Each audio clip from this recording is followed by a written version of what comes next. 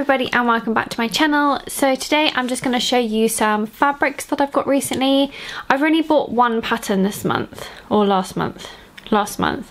Um, so I've got one pattern and I actually, I have to admit I haven't bought that much fabric, but I'm really excited about what I have been buying. So I just thought I'd show you. Okay, so the first thing that I've bought this month is some denim. Now, I've been going on and on about making a denim jacket for ages and I haven't actually got around to it. Um, and in this video, I've bought two denims recently because I'm planning two denim jackets. Um, it'll all become clear when you see the other denim jacket, um, the other denim fabric. Um, so this is the first denim I got. It's just a plain mid blue cotton denim from Minerva Crafts. It's a really good weight. It's not too thin, but it's not too thick. Um, and it does feel really soft, but with that, that nice sort of rigid denim feel. So it's going to be a nice structured jacket. But yeah, I just really like the colour. And for like a plain denim jacket, I thought this was going to be perfect. Okay, so this is the next denim. Don't pass out. Oh, I just absolutely love this. So this is a fabric that I bought from the Handmade Fair at Bowood House because um, you may or may not know that I was teaching there um, a few weeks ago a few weeks ago, it was like two weekends ago. Um, and there was fabric sellers there, two lovely guys, I think they were brothers, um, and they are called Fabric King. Um, I'll put all the links below so that you've got them. But they had loads of amazing denims, and this embroidered denim was one of them. They actually had quite a few embroidered denims, um, but by like the Saturday, half of them were already gone because that's how popular they were and I knew that I really wanted this one because again it's a mid blue denim because I think that colour suits me best. Um, but the embroidery on it is so bright so colourful. Um, I just really like the style of it and I thought another denim jacket in this would be so much fun to wear. Um, it is a bit thinner than the other denim that I got but I think it would be nice as like a summery lightweight jacket so I'm very excited to make that. The next fabric I also bought from Fabric King at the Handmade Fair. Um, I don't know if I should show you this or not because, I mean, the palm print obsession is getting out of hand. But I bought another palm print jersey. It's just bright, it's leafy, my fave. Um, it's super soft. I'm really impressed by the quality and they were really, really good prices. Um, so yeah, I'm I'm looking forward to buying lots from them again. Um, but I just absolutely love this print, and I knew as soon as I saw it, I had to have it, and I got what was left on the roll. So I think that was like two and a bit meters. Um, but yeah, this was the last of it, so I managed to nab it up on the Saturday. So um, those of you who also bought this on the Friday. Um, will all be looking the same because I mean you're not going to hide in that are you but I just absolutely love it it's such good quality and I'm thinking maybe like a long jersey skirt with split like side splits. That's what I'm thinking but I might change my mind. Um, I just thought for something so bright it needs to be something quite dress not drastic but a large piece. Either th oh, that or maybe like a maxi dress would be quite fun in this. Um, but yeah I haven't 100% decided but something along those lines. I just can't wait to make something with this. Okay and the last fabric I've got this month is this Oh my god. Okay, so it's an African print fabric from Dovetailed. Um, again, I'll put the link in the description. Um, they have an Etsy shop. Um, they're based in London.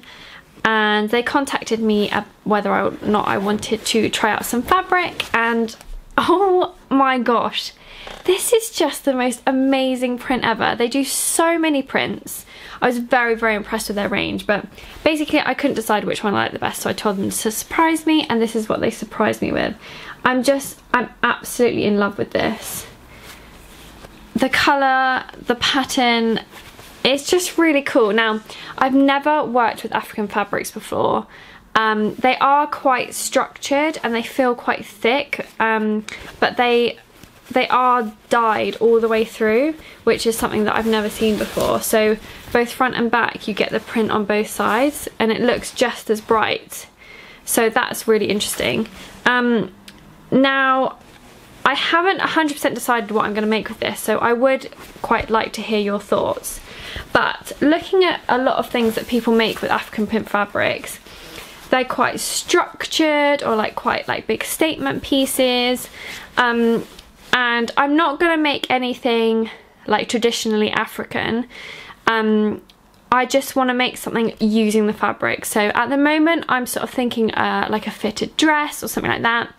Um, I've started a little Pinterest board on my Pinterest which is just Jessalli um, if you want to have a look at that. Um, but yes, I'm really excited to work with this. I've never worked with a fabric like this um, and it, it feels like it's going to be quite easy to do because of how rigid the fabric is. Um, but yeah, I'm just absolutely in awe of this fabric. So I can't wait to do a nice blog post about what I make and how it sews. Um, but yeah, if you are a fan of um, patterns and prints like I am, then definitely check out Dovetailed. I'll put the link in the description. Okay, and the only pattern I bought this month was a denim jacket. So this is the Maisa jacket by Named Clothing. Um, I actually bought this pattern off Minerva Crafts because um, they have quite a good range and named, I can't remember where they're from, either New Zealand or somewhere in America. Anyway, they're not British anyway. Um, so they have a really good range on Minerva Crafts and I just liked the style of this jacket.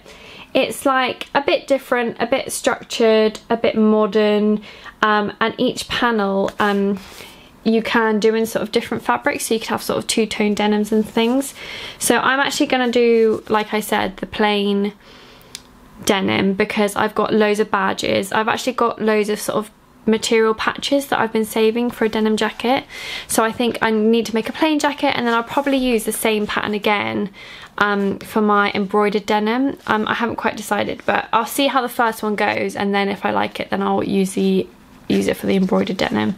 But I'm really excited to try this. I've never made a denim jacket before.